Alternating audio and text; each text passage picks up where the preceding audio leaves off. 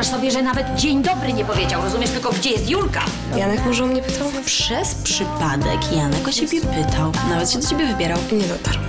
Zapraszam cię na kolację do starej tawerny dziś wieczór. Wiesz co, to nie jest taki dobry... Powiesz mi wszystko na kolację. Chcę powiedzieć, że, że ją kocham, zanim Sławek to zrobi. Julia.